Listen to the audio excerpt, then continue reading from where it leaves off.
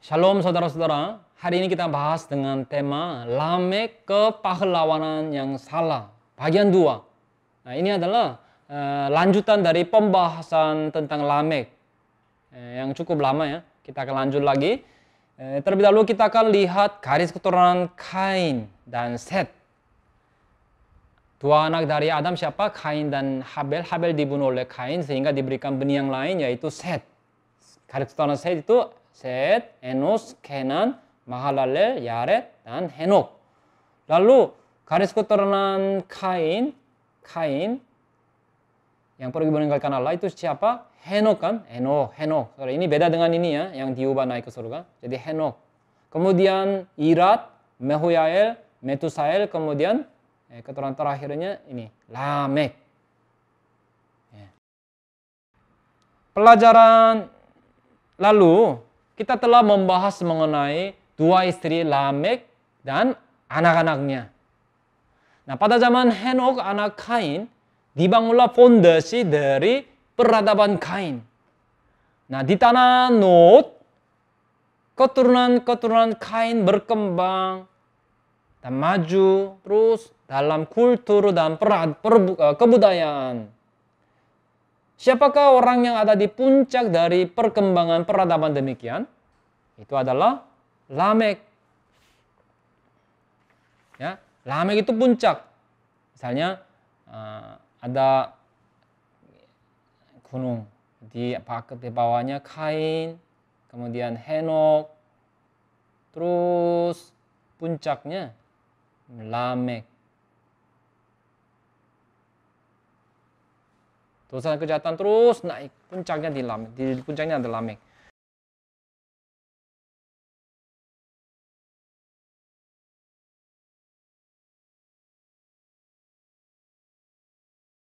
Ia Lamek itu, Lamek memecahkan kultur uh, monogami, kultur monogami. Dialah yang pertama kali melakukan poligami. Istri Lamek yaitu Ada adalah perempuan yang mendandani diri, diri dengan beraneka perhiasan. Lalu Jilla adalah uh, perempuan yang suka menjilat seperti dentingan suara besi. Ada dua anak, Yubal, Yabal, Yubal, kemudian Jilla ada dua anak, Tubal, Kain, dan Nama. Ah, hari ini pembahasan kita akan fokus kepada nyanyian Lamek ini. Nyanyian Lamek. Uh, yang ada di kejadian 4 ayat 23 sampai 24. Lamek adalah perwakilan dari manusia yang dilingkupi oleh rasa kepahlawanan yang salah. Ya, kita akan lihat tentang rasa kepahlawanan yang salah yang tampak pada nyanyian Lamek. Yang pertama, Lameng yang menganggap enteng nilai hidup manusia. Lameng yang menganggap enteng nilai hidup manusia, nilai hidup manusia. Terlebih dahulu kita akan lihat tentang karakteristik dari nyanyian Lameng mengenai pedang dan pembunuhan. Dengan bentuk perintah yaitu dengarkanlah. Lamek berkata kepada istri dan guntingnya. Ia membanggakan senjatanya dan kekuatannya kepada dua istrinya, ia berkata, Hei, percayalah padaku. Nah, kita akan lihat tentang karakteristik dari nyanyian Lamek. Poin satu, Lamek sepenuhnya egosentris dan cabul. Sepenuhnya egosentris dan cabul. Perihal pada Lamek ada dua orang istri, ini memperlihatkan bahwa ia adalah orang yang cabul. Kejadian 4 ayat 23, Berkatalah Lamek kepada kedua istrinya itu, Ada dan Zila. Lalu dikatakan, hai istri-istri Lamek. Sudah disebut Ada dan Zila, tapi dikatakan lagi, hai istri-istri Lamek. Nah, di silsilah garis keturunan Kain, nama Ada dan Zila muncul masing-masingnya tiga kali. Serta ekspresi istri, istrinya, istri Lamek pun muncul sebanyak tiga kali. Ya, bukannya berkata, Dengarlah firman Allah. Tetapi ia berkata apa? Kejadian 4 ayat 23. Dengarkanlah suaraku. Pasanglah telingamu kepada perkataanku ini. Aku, belum aku, belum aku di sini. Dengarkanlah suaraku. Pasanglah telingamu kepada perkataanku ini. Aku, aku, aku. Lamek katakan ini kepada siapa? Kepada kedua orang istrinya. Lamek berbangga sambil menyebut sebanyak dua kali tentang dua istrinya. Secara terus-menerus ia ingin mengeluarkan suara dirinya. Perhatiannya hanya ada pada dirinya sendiri saja. Poin dua, Lamek berbangga atas pembunuhan yang ia lakukan. Kejadian 4 ayat 23, Aku telah membunuh seorang laki-laki, membunuh seorang muda. Nah, setelah pembunuhan pun, ia membenarkan perbuatannya tersebut. Nah, saudara-saudara, Manusia adalah sosok yang diciptakan secara langsung oleh Allah sesuai dengan gambar dan rupa Allah. Hanya manusia sajalah satu-satunya ciptaan yang menerima nafas hidup eh, yang khusus dari Allah. Yaitu sosok yang memiliki nilai yang agung yang diciptakan untuk berkomunikasi dengan Allah. Nah, Nilai hidup manusia itu betapa berharganya. Yesus menganggap nilai manusia itu lebih tinggi dibandingkan seluruh alam semesta. Mar Mar Markus 8 ayat 36 sampai 37. Nilai manusia itu sangat berharga. Tapi Kain mengentengkan nilai hidup nyawa nilai nyawa manusia, nilai hidup manusia itu Ketika korban persembahan Kain tidak diindahkan Allah, apa yang ia lakukan? Ya sangat marah dan para para suazanya berubah. Kejadian 4 ayat 5 sampai 7. Dengan demikian, dibuatlah kesempatan supaya iblis bisa menyelinap masuk. Dan tindakannya itu bersambung ke pembunuhan. Membunuh adiknya, Habel. Nah, tet tetapi setelah itu, Lamek keturunan Kain itu lebih parah lagi dibandingkan Kain. Ya. Kain, Hen, uh, Kain, uh, Henok, Iram, Mehoel, Medusael, kemudian Lamek kan di zaman Lamek lebih parah lagi. Kejadian 4 ayat 23. Aku telah membunuh seorang laki-laki karena ia melukai aku. Membunuh seorang muda karena ia memukul aku sampai bengkak. Nah, di sini kata luka, kata luka bahasa Ibrani-nya pecah. Artinya memar yang ringan karena terpukul. Memar yang ringan karena terpukul. Tapi ia tidak bisa menahan amarahnya karena luka yang kecil tersebut. Dan sambil membanggakan kekuatannya dan kuasanya, ia membunuh nyawa orang. Saudara-saudara, mari ingat, agama Kristen kita adalah agama yang terus mengampuni tanpa henti. Jika berpikir, oh kamu remehin aku ya, kamu remehin aku.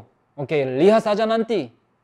Nah, orang yang berpikir begitu tidak bisa disebut sebagai Kristen, umat Kristen, orang Kristen. Kan apa yang Yesus katakan? Yesus berkata, ketika orang minta pengampunan tujuh kali tujuh puluh kali, kita disuruh untuk apa? Ampuni. Nah, Lamek artinya, arti namanya adalah orang yang kuat. Tapi ia salah menggunakannya. Tubal kain anaknya membuat beraneka peralatan tajam dengan besi.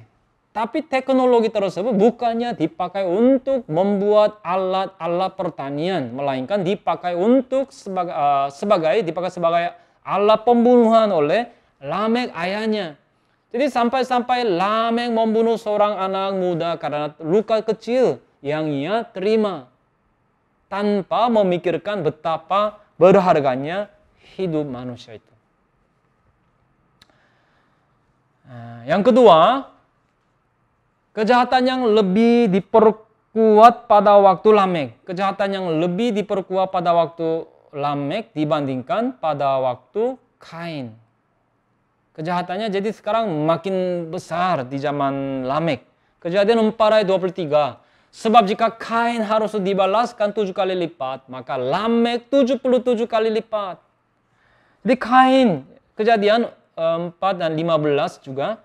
Jadi Kain tidak kunjung bertobat atas perbuatan dosanya membunuh Habel adiknya. Kepada Kain yang memohon agar hukumannya dikurangi, Allah berbelas kasihan terhadapnya kan saudara? Sehingga Allah memberikan tanda, Allah memberikan tanda, ya tanda kepada Kain supaya jangan dibunuh. Dikatakan bahwa barang siapa membunuh Kain, kepadanya akan dibalaskan tujuh kali lipat. Artinya, Ka, Lamek juga, Lamek juga tahu tentang firman yang Allah katakan kepada Kain. Jadi dari Kain enam generasi telah berlalu sampai kepada Lamek. Dan artinya telah cukup waktu yang berlalu kan dan Lamek sekarang sudah tahu dengan akurat tentang firman Allah yang dikatakan kepada Kain. Firman Allah yang dikatakan kepada Kain. Maka ia berkata di kejadian 4 ayat 24 seperti demikian tadi. Jadi coba kita bandingkan Kain dan Lamek. Dosanya diperkuat seperti apa? Poin satu, Kain. Kita lihat Kain. Kain yang tidak kunjung tahu untuk bertobat. Kain yang tidak kunjung tahu untuk bertobat. Allah berkata akan membalas tujuh kali lipat kepada orang yang mengusik Kain. Dan itu menunjuk pada sarana perlindungan dari Allah terhadap Kain. Kejadian 4 ayat 12 bereferensi. Nah, ini saudara, kejadian 4 ayat 12. Apabila engkau mengusahakan tanah itu, maka tanah itu tidak akan memberikan hasil sepenuhnya lagi kepadamu, akan engkau menjadi seorang pelarian dan pengembara di bumi. Nah, jadi Eh, kan Allah berkata akan membalas tujuh kali lipat kepada orang yang mengusik Kain. Ini menunjuk pada apa? Sarana perlindungan dari Allah terhadap Kain kan? Nah ini bukannya karena dosa Kain itu enteng. Bukannya karena dosa Kain itu enteng. Ya. Atau uh, sekali lagi bukannya Allah uh, bukannya bukannya karena dosa Kain itu enteng saudara. Bukannya Allah setuju atas perbuatan dosa Kain? Atau bukannya Allah berkata demikian dengan tidak tahu apa-apa? Dan jelas bahwa Kain telah menerima penghakiman dari atas dosa. Penghakiman atas dosa kan? Kejadian 4 ayat 12 yang tadi dibaca. Ya kan? Nah, sekali lagi, tanah itu tidak akan memberikan hasil sepenuhnya lagi kepadamu. Engkau engkau menjadi seorang pelarian dan pengembara di bumi. Nah, meskipun Kain berbuat dosa dengan kasih, Allah menunggu, bukan mengizin, uh, uh, menerima, tapi menunggu saudara. Eh, boleh, boleh, bukan seperti itu, tapi eh, menunggu supaya ia bertobat. Maka saudara, lewat ini apa pelajaran apa yang kita bisa tarik saudara? Hari ini kita pun sambil kita melihat orang jahat tetap hidup atau diri kita pun bisa tetap hidup meski ada dosa. Apa yang kita harus kita sadari? Dari situ kita harus bisa melihat kasih Allah yang panjang sabar. 2 Petrus 3 ayat 9 berkata demikian. Kemudian Allah membuat siklus pembunuhan. Allah membuat siklus pembunuhan karena pembalasan dendam tidak terjadi. Allah membuat siklus pembunuhan karena pembalasan dendam tidak terjadi. Makanya Tuhan berikan apa? Sarana perlindungan dari Allah terhadap kepada kepada terhadap Kain kan. Nah, balas dendam bukanlah hak manusia, Saudara, melainkan hak istimewa Allah. Ulangan 32 ayat 35. Hakulah, hakulah dendam dan pembalasan. Hakulah dendam dan pembalasan pada waktu kaki mereka goyang, sebab hari bencana bagi mereka telah dekat, akan segera datang apa yang telah disediakan bagi mereka. Lalu di perjanjian baru juga Ibrani 10 ayat 30. Sebab kita mengenal dia yang berkata, pembalasan adalah siapa? Hakku, hak Tuhan. Akulah yang akan menuntut pembalasan. Dan lagi Tuhan akan menghakimi umatnya. Nah, jadi ada ada ungkapan dan ada ungkapan blood will have blood. Blood will have blood. Darah akan mendatangkan darah. Artinya, pembalasan dendam akan menimbulkan lagi, menimbulkan pembalasan dendam lagi. Menjadi siklus kejahatan yang berulang-ulang. Nah, lalu kemudian, tiga, Allah telah memberikan kesempatan pertobatan kepada Kain. Allah telah memberikan kesempatan pertobatan kepada Kain. Jadi Kain adalah pembunuh yang layak untuk menerima hukuman. Nah, kepada Kain yang seperti demikian, kasih karunia yang seperti apakah yang Allah berikan? Allah memberi perhatian khusus serta belas kasihan kepada Kain. Allah menjaganya dengan kasih karunia yang penuh supaya tidak ada yang balas dendam terhadapnya. Lalu kenapa Allah melindungi nyawa Kain? Itu adalah karena kepadanya diberikan kesempatan pertobatan agar ia sadar dan bertobat. Bagaimana bisa menjelaskan hal, hal ini? Hanya dengan ya kasih Allah yang begitu luar biasa. Nah, karena hanya Terang sajalah yang bisa menghilangkan kegelapan. Hanya kasih yang dapat melumerkan kebencian. Jadi, pertanyaannya saudara-saudara, uh, coba kita mer, uh, introspeksi diri kita masing-masing. Bagaimana dengan kita hari ini? Apakah diri kita yang mau coba-coba balas dendam? Terhadap dosa, manusia tidak boleh balas dendam. Kain, meskipun ia menerima kasih dari Allah, ia pergi meninggalkan Allah. Kejadian 4 ayat 15 sampai 16. Jadi, Kain yang tidak kunjung bertobat itu tidak mungkin akan mengajarkan ya, mewariskan iman, mengajarkan pertobatan kepada keturunan-keturunannya. Nah, sekarang kita lihat Lamek. Dosanya makin diperkuat kan? Lamek yang menyalahgunakan kasih Allah. Lamek yang menyalahgunakan, salah gunakan. Lebih jahat lagi. Ya. Menyalahgunakan kasih Allah.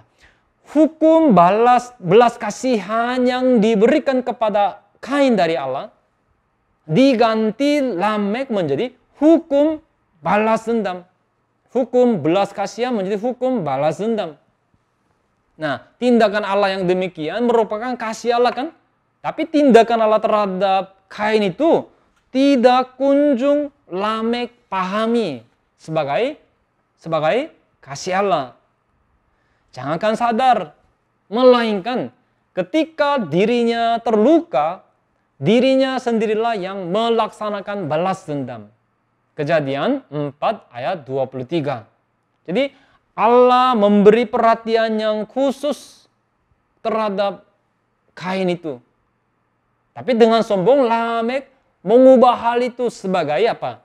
Perlindungan bagi pembunuh yaitu diri bagi dirinya sendiri. Dan Lamek mengubah hukum balas dendam menjadi hukum ah sorry hukum belas kasihan menjadi hukum balas dendam. Setelah membunuh orang, Lame bukannya merasa berdosa. Ia malah menyalahgunakan kasih Tuhan. Maka ia berkata, Orang yang membunuh aku akan dibalaskan 77 kali lipat. Maksudnya, ia menganggap bahwa dirinya bukanlah orang yang berbuat dosa yang layak dijatuhi hukuman mati. Ia menyatakan dengan pasti bahwa tidak ada yang bisa membunuh dia. Ya, ya ekspresi 77 kali lipat bisa kita lihat. Ini adalah hukuman dari Allah. Maksudnya Tuhan akan balas dendam dengan sepenuhnya dan sempurna. Tapi Lamek sedang menyatakan sendiri apa yang Allah tidak pernah katakan. Nah, tentang pengampunan, Yesus berfirman seperti ini. Matius 18 ayat 22. Bukan sampai tujuh kali, melainkan sampai tujuh puluh kali tujuh kali. Saudara ingat kan? Nah ini adalah hati Allah yang ingin mengampuni orang yang bertobat. Tapi Lamek menyalahgunakan kasih dan kasih karunia Allah yang seperti demikian. Dengan sombong, Lamek sedang membenarkan dosa dan kejahatan dirinya. Seharusnya Lamek sadar tentang kasih khusus Allah tersebut, bertobat, lalu bersyukur. Tapi ia malah menyalahgunakan kasih karunia Allah itu. Nah, ayatnya ayat yang cocok dengan Lamek yang seperti demikian adalah apa? Mazmur 49 ayat 20. Mazmur 49 ayat 20 Indonesia 21. Nah. Manusia yang yang dengan segala kegemilangannya uh, tidak mempunyai pengertian boleh disamakan dengan hewan yang dibinasakan. Manusia bisa juga dibinasakan. Nah, kesimpulannya, saudara-saudara, saudara ingat kan uh, di tahun 2007 seri sejarah penebusan buku pertama mulai diterbitkan. Dan di tahun yang sama, apa yang terjadi saudara? Saudara tahu enggak? Ya, keluarlah teknologi yang tercanggih, yang luar biasa. Yaitu Stephen Jobs pertama kali memperkenalkan iPhone. Berneka aplikasi bisa diinstal dan dipakai. Ya, uh, komputer yang sejauh itu besar itu dimasukkan ke dalam handphone. Handphone yang seukuran telapak tangan ini. Jadi uh, dengan Kakao Talk atau WhatsApp orang-orang bisa berkomunikasi dengan sangat mudah, sangat cepat kan. Nah seperti demikian di zaman Lamek anak Lamek yaitu Tubal Kain untuk pertama kalinya memperlihatkan teknik yang tercanggih. Jadi orang-orang kaget. Sejauh itu orang-orang berburu dan berperang dengan tongkat runcing dan batu saja. Tapi kini bisa dibuat Allah dengan besi. Jadi reformasi yang luar biasa. Dan dengan demikian orang-orang bisa memiliki kekuatan untuk memproduksi banyak hal. Tapi itu akhirnya membawa dampak negatif yang membawa penderitaan dan kepedihan besar bagi umat manusia. Yaitu dengan besi dibuatlah senjata yang mengakibatkan pembantaian besar yang brutal. Pembantaian besar yang brutal. Hasilnya, hasilnya bagaimana? Muncullah pahlawan-pahlawan juga terbentuklah rombongan orang-orang jahat yang mengikutinya. Lebih lagi, dengan kekuatan peradaban itu, mereka apain? Paling parah apa? Mereka menentang Allah, menentang Tuhan. Jadi secara hakiki, peradaban itu mengejar kenyamanan dalam kehidupan umat manusia. Ya kan? Itu sebabnya akhirnya itu cenderung kepada humanistik, kepuasan daging, kejatuhan secara seksual. Misalnya orang-orang berkata, mari kita membangunkan potensi manusia nah, serta memaksimalkannya.